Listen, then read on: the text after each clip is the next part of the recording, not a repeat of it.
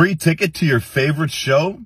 That's pretty arrogant. You know, I'll never understand this trend of filming yourself to post on social media because you want the entire world to see, but making a big deal if one single person looks at you in real life?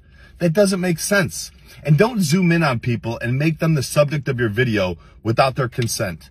And did you ask yourself, why is he looking at you? Maybe because you're doing headstands in the middle of the gym. Anyone would look at you. I would look at you. That's normal. But no, you'd rather post a video on social media, laugh at this man in your caption, support comments laughing at him, and even support comments saying that he's falling in love with you? Really? Did you ever stop to think how he would feel if he saw this video or the comments, or if he has a significant other, how they would feel? No, because all you care about is likes and attention at his expense. You need to do better. Mind your own business.